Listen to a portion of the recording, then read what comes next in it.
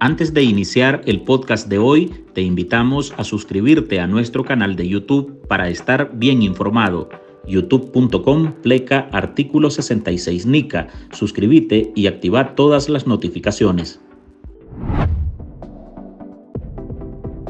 Porque a democracia ela é muito importante na medida em que você estabelece uma alternância de poder. Ni el discurso de Lula da Silva sobre la importancia de la democracia y lo primordial que debe ser la alternancia de poder en cualquier país del mundo logró cambiar lo que llevaban establecidos los integrantes del Foro de Sao Paulo, quienes se reunieron desde el pasado jueves hasta ayer domingo en Brasilia. Durante uma reunião do chamado Foro de São Paulo, que reúne as principais lideranças de esquerda da América Latina e do Caribe.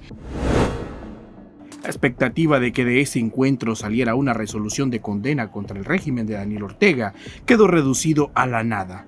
Ni los llamados de Lula a mediar por la liberación de Monseñor Rolando Álvarez, ni las tibias críticas del brasileño por la deriva autoritaria de la administración nicaragüense funcionaron. Por el contrario, los amigos del dictador ni condenaron ni señalaron ni una sola de las violaciones a los derechos humanos que viven los nicaragüenses y en su resolución final ubicaron como víctimas de bloqueos a los regímenes de Cuba, Nicaragua o Venezuela. Dicen que estas dictaduras sufren por las sanciones que impone la comunidad internacional. El mensaje de los yanquis es o hacen lo que yo digo o los vamos a sancionar los vamos a agredir. Hola, soy Slis Chica y hoy en el podcast Ahora de Artículo 66 le presentamos Foro de Sao Paulo y su apoyo a las dictaduras. Marlin Balmaceda conversó con opositores de Nicaragua que explican por qué Lula da Silva no logró presionar por una condena contra el régimen Ortega Murillo.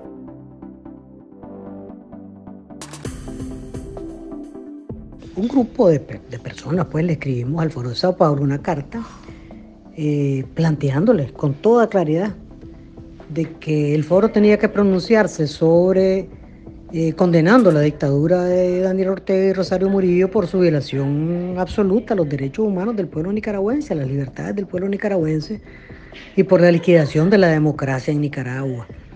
Eh, y dijimos claramente, Daniel Ortega ni siquiera es de izquierda, es un régimen que no tiene ninguna ideología y que su única obsesión es el poder político.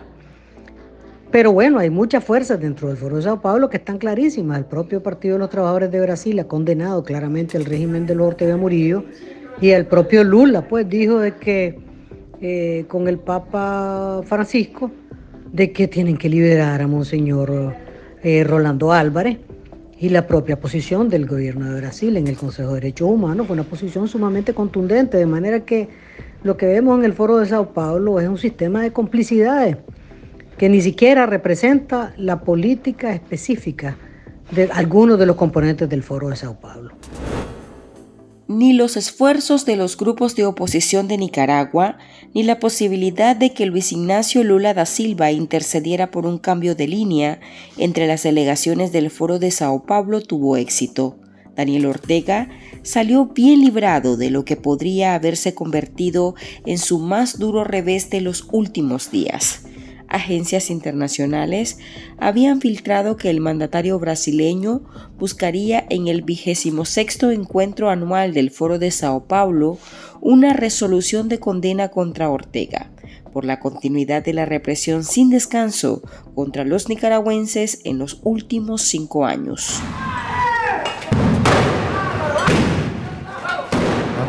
Pero no hubo tal condena.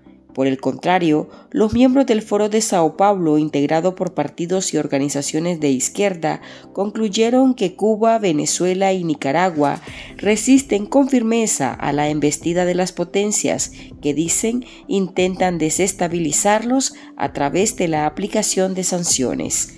Asimismo, alabaron las victorias electorales de izquierdistas, lo que afirman permite frenar el desarrollo del neofascismo en la región se tapan los ojos frente a los crímenes, los fraudes y la corrupción que representan estos gobiernos.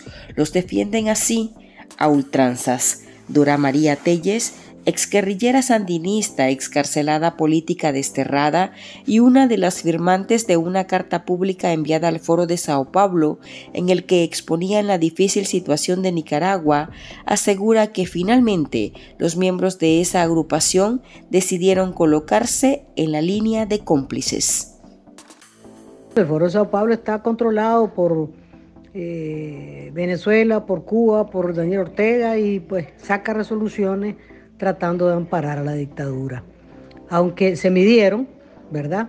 Pero simplemente volvieron la cara hacia otro lado. Eso deja al foro de Sao Paulo como foro totalmente deslegitimado de cara a los grandes problemas que tiene América Latina, uno de los cuales es la falta de democracia y las graves lesiones a los derechos humanos, ¿verdad?, eh, de los pueblos ni los 355 asesinatos registrados por la Comisión Interamericana de Derechos Humanos, ni la continua migración producto de la inestabilidad política y social que vive el país, ni tampoco los más de 2.000 heridos que dejó la represión estatal en 2018 calaron en el foro. Los rumores de posible condena quedaron en rumores. La alerta había crecido después que el propio Lula prometiera al Papa Francisco abogar por la libertad del obispo de Matagalpa, preso de Ortega desde agosto de 2022. O Papa Francisco e prometeu conversar com o ditador da Nicarágua pela religião, por exemplo, pela libertação do religioso Rolando Álvares. Brasil también dio marcha atrás hace 10 días sobre una propuesta de suavizar la condena de los Estados miembros de la Organización de Estados Americanos contra los Ortega Murillo. Al final, apoyó la resolución que expone la profunda preocupación por la crisis de Nicaragua igualmente remarcaron que Daniel Ortega, ese que defienden en el foro de Sao Paulo, es un presidente ilegítimo. Juan Sebastián Chamorro, economista y excarcelado político nicaragüense, minimiza la resolución del Foro de Sao Paulo. Recuerda que ese encuentro lo encabezan los mayores dictadores de América Latina y por ello intentan entre sí darse apoyo.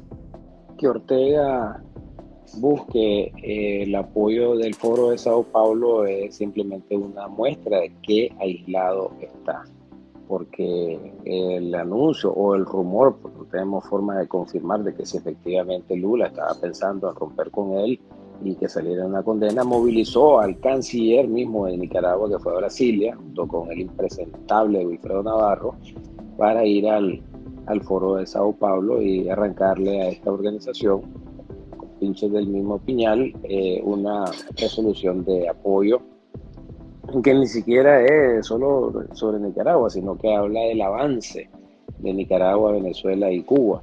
De tal manera de que esto también muestra el nivel de aislamiento en el que se encuentra la dictadura que tiene que recurrir a sus propios socios a que haya una, una resolución. Pues, es como, como, como absurdo en el sentido de que son ellos mismos. Pues.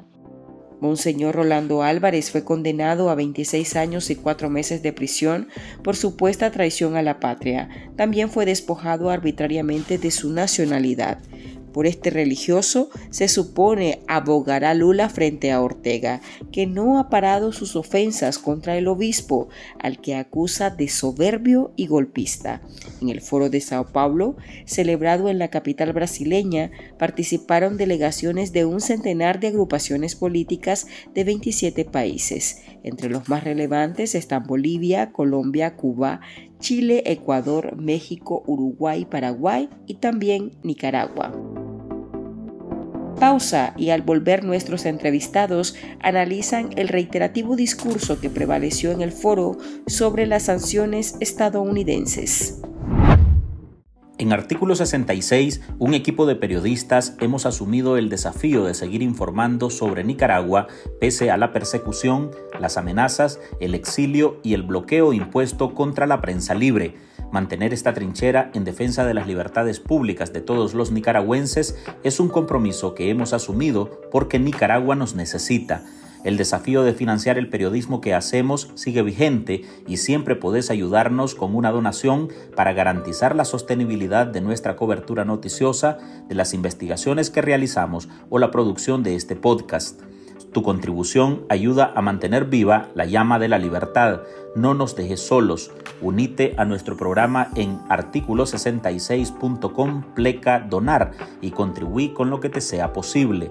Toda ayuda, sin importar el monto, es infinitamente vital para nosotros. Recordá artículo66.com pleca donar. Muchas gracias.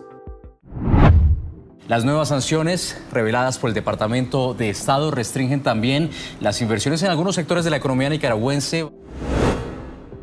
En la reunión también condenaron las sanciones impuestas por Estados Unidos contra el trío de países dominados por Daniel Ortega, Miguel Díaz Canel y Nicolás Maduro, reprochando el bloqueo comercial o las restricciones de viaje a funcionarios públicos, pero callaron sobre las razones por las que se ha incluido en esas listas a esos personajes. Chamorro insiste en que una vez más el adoctrinamiento de los miembros del foro prevaleció sobre la verdadera dignidad de los pueblos y demanda a vivir en libertad, paz y democracia. Y refleja eh, efectivamente el rol que jugó, ha jugado y seguirá jugando el Foro de Sao Paulo como la escuela común de las tres dictaduras, eh, auspiciada y apadrinada por Brasil desde su inicio, por Lula lamentablemente. Eh, y digo lamentablemente porque Brasil es un país grande, muy importante, en el adoctrinamiento en la formulación de políticas y acciones que son igualitas en las tres dictaduras, igualitas. Y eso viene precisamente de una escuela en la que han perdido algunos socios. Bolivia con serios problemas, eh, Ecuador se perdió para ello, eh, Argentina un poco eh, desarticulado y Chile que ha tomado una posición un poco más sensata. y Petro pues con sus problemas internos. Pero realmente lo que el Foro de Sao Paulo está haciendo acá es simplemente eh, reafirmando su posición pro dictadura, pro eh, sandinismo, pro izquierda eh, ochentera y oído sordo y vista ciega a los crímenes de lesa humanidad cometida, a las violaciones a los derechos y obviamente apoyando un proyecto absolutista los personeros del orteguismo, un diputado zancudo, dos magistradas electorales responsables de fraudes y el canciller Denis Moncada aprovecharon el evento para robarle la foto a Lula con el propósito de intentar disipar los rumores de distanciamiento entre el dictador Ortega y el brasileño.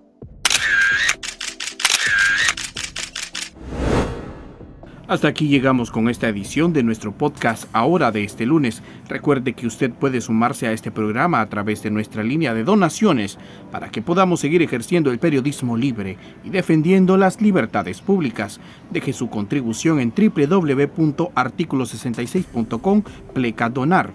Gracias por escucharnos.